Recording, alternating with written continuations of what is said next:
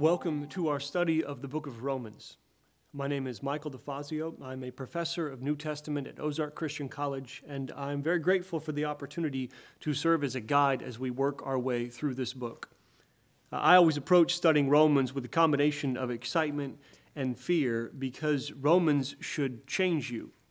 Me too, for what it's worth. Considering what we're going to be doing together, uh, unpacking Paul's letter to the Romans, we should by no means finish this journey exactly the same people that we are today. We should know Jesus more clearly, understand the gospel more thoroughly, uh, pursue grace more passionately and feel it deeply, hate sin more completely, and understand more fully than we ever have before the large story of God's purposes for the world and his faithful achievement of those purposes in spite of evil and sin. Yet, studying Romans should change you. And I say this with great historical support because Romans has been changing people and changing the world for centuries.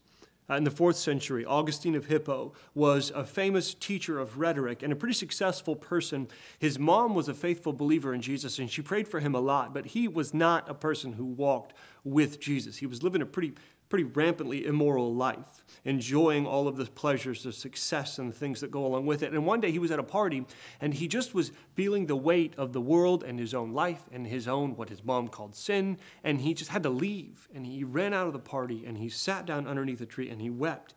And as he wept, he, he heard nearby uh, this song. It sounded like children playing a game. He was not familiar with the game, but what they kept saying was, Take and read, take and read. And so he went and found a Bible, opened it up, and turned to Romans chapter 13, 14, a verse that talks about putting away the misdeeds of the flesh and putting on Christ. And he felt that God was calling him and saving him, and he changed.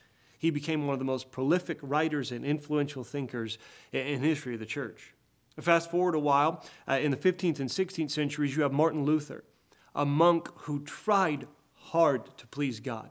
But he was tormented because he believed that his sin was the only true thing about him and that God was only judging him all the time. And if he was honest, he hated God.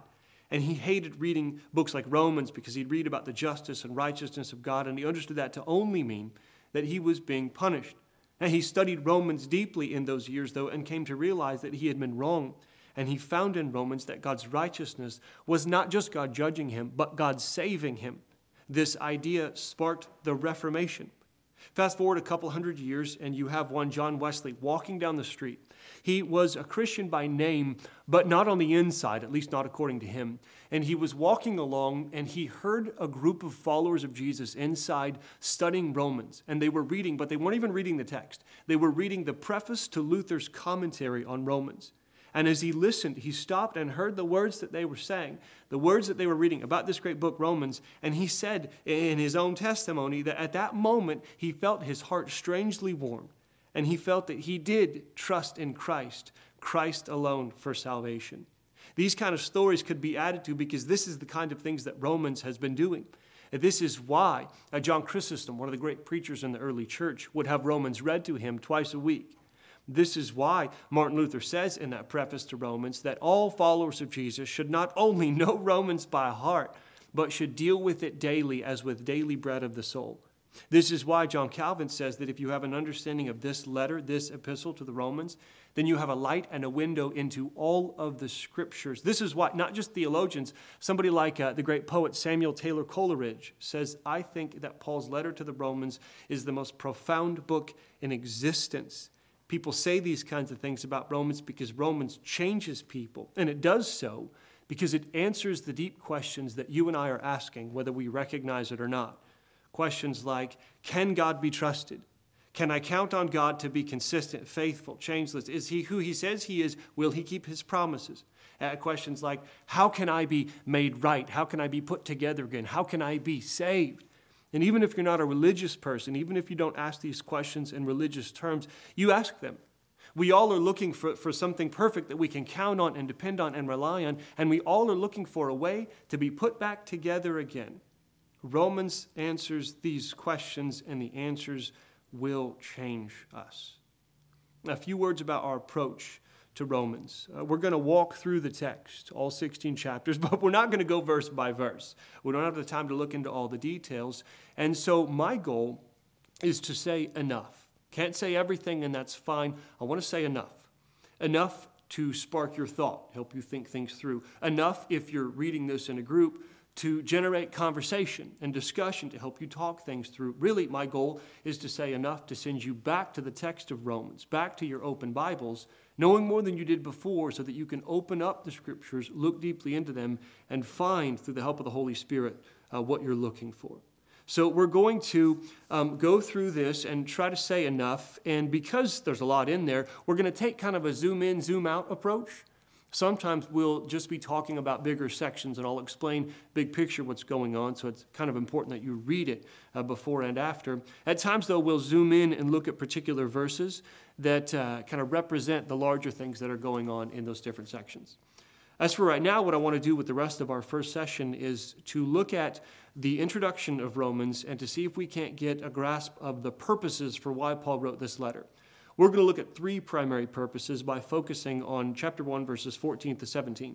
Now, there are probably four purposes. There's another one. Uh, probably part of what Paul's doing is trying to raise some support for future ministry, but we'll talk about that later. The three primary purposes come from uh, these three verses, or these four verses 14, 15, 16, and 17. So let me read them and then unpack them a little bit. Paul says, uh, I'm obligated both to Greeks and to non Greeks, both to the wise and to the foolish. That is why I am so eager to preach the gospel also to you who are in Rome. For I am not ashamed of the gospel, because it is the power of God that brings salvation to everyone who believes, first to the Jew and then to the Gentile. For in the gospel, the righteousness of God is revealed, a righteousness from faith to faith, just as it is written, the righteous will live by faith. If you unpack this, you see the three primary purposes to this letter. Now, the first one uh, thing that Paul is trying to do is he's trying to clarify the gospel. This is why Paul wrote this book. This is what Paul wants to do is clarify uh, the gospel. Now, no matter what you're doing in life or whoever you're deciding to be, there are certain things you just you just kind of you kind of need to have in place. You kind of need to know if you're uh, if you're going to wait tables, you kind of need to understand that your job is to get the right food to the right people at the right tables. Uh, if you're going skydiving, you kind of need to know ahead of time which one of these levers releases the parachute. And if you want to be a Christian, a follower of Jesus, kind of need to know what the gospel is. If you want to be a church, a real, true, faithful church, this is 101. You got to get the gospel and you got to get it right. And Paul's writing this great letter, which is his most comprehensive um, laying out of the gospel that he preaches, the gospel that God has revealed to him as an inspired apostle. If you look at these words, he says, I'm not ashamed of the gospel. And then he talks a little bit about what it means. The gospel is the power of God for the salvation of all who believe. So let's just look at some of these words and uh, see if we can't start to understand some of what Paul's saying. So you have the word gospel, and then the gospel is the power for salvation to all who believe. Now, this is just a quick overview. He's going to unpack these things later. And if, as you read this section, as we talk through it, you feel a little bit like, okay, I'm just a lot of details, kind of lost in the details, that's okay at this point. It's kind of like when you go see um, like a historical site and often before you go through and see it, you'll sit down and watch a tour video, which is supposed to prepare you for what you're watching. When I'm in those videos, I sometimes feel like, okay, like I don't understand everything you're talking about because I don't have any context for it because I haven't seen the thing yet. Let's just get started. So this is kind of like Paul's tour, uh, early tour prep video. He says the gospel, a word that means good news or good report. Good things have happened. Events have taken place that mean good things for you. For Paul, his gospel looks backwards to the book of Isaiah, where God promised through this prophet that good news would be preached when God took back control of his world and, and, and righted the wrongs and, and delivered his people. Looks back to these promises in Isaiah, and it looks forward to really the Roman media they would use this word a lot. It was kind of a political word. They would use this word to describe the glory of Rome and the greatness of Augustus and other great leaders. And they now run the world, and this is good news for you for these reasons. So that's, that's gospel. Paul says in his gospel is the power of God for salvation. So this gospel does something, and what it does is it saves people.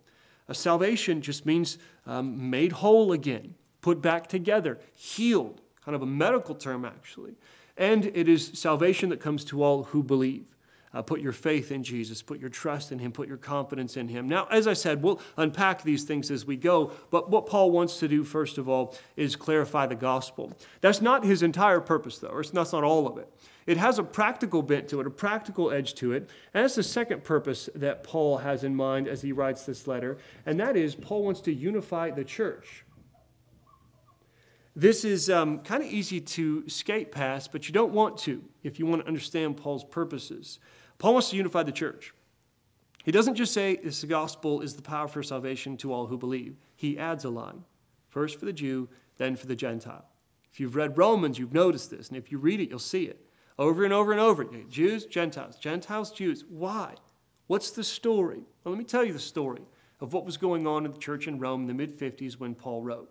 If you back up a little bit, in the late 30s is kind of when it begins Christianity in Rome. It comes, the gospel, Jesus, comes to Rome almost entirely through Jews who have heard it elsewhere, elsewhere and are bringing this good news that God sent the Messiah.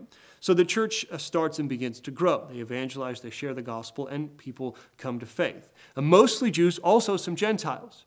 So there for a while, you have this church growing probably actually over a decade, and uh, most of the people who've been following Jesus the longest are Jewish Christians. Most of those who are in leadership positions, probably Jewish Christians. Church has a Jewish flavor, a Jewish style to it. Then something happens, though, in the year 49. The emperor expels all the Jews from Rome, probably because the Jewish Christians and the Jewish non Christians were, were arguing. He said, just get out of here. Now, we don't know if all of them left, but enough did to make a difference. And at this point, the leaders are gone. And the Gentile Christians are looking at each other going, What do we do now? And they continued doing church, but their church took on a decidedly Gentile flavor. The Gentiles were now in leadership. And they didn't change everything, didn't change the message, but they changed some of the rituals and practices and the things that they did. About five years later, in 54, there's a new emperor, and he lets the Jews return. They're glad to come back. And the Jewish Christians come back home to their home church, which doesn't look like it used to. Now, there are some differences, and you've got one style of following Jesus and another style of following Jesus, and they've got to find a way to make the two mesh. Now, I don't think that they were divided, but there was tension.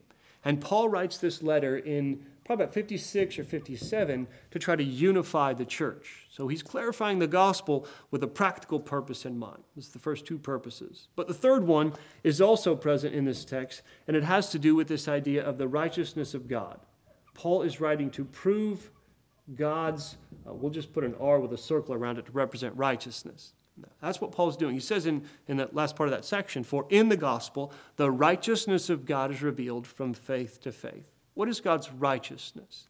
Well, righteous is a word that just means you meet a standard. Like it's, it's, it's as good as you expected. It meets uh, what you want it to be. So, like you talk about, you know, a wave is righteous, or you talk about behavior as righteous. It, it is what it's supposed to do. That's what they're supposed to do. They did it. It's called righteous. Now, what does it mean, though, when it comes to God? He doesn't have any outside standard that he has to meet, so it's the standards of his own character. And in Romans, as in most of Scripture, there's two elements to God's righteousness that Paul wants to talk about here. The first one is, we'll call it his integrity as judge. Uh, God is the judge, and he has to have integrity as a judge and to punish wrongdoing and reward good. That's a judge's job. Can't be impartial or you're no longer righteous, no longer just.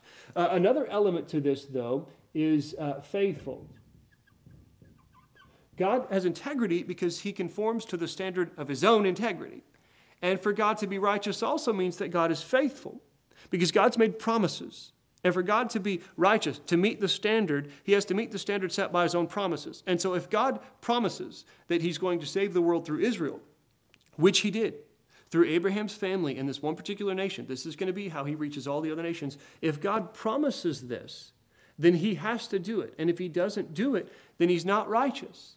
So when you read in here that in, in the gospel, the righteousness of God is revealed, we're talking about this legal aspect of this and also the covenant aspect of this because Jesus was something of a surprise. And on the surface, kind of looks like he's letting people off the hook. On the surface, kind of looks like he's maybe going outside of the Old Testament and doing something different.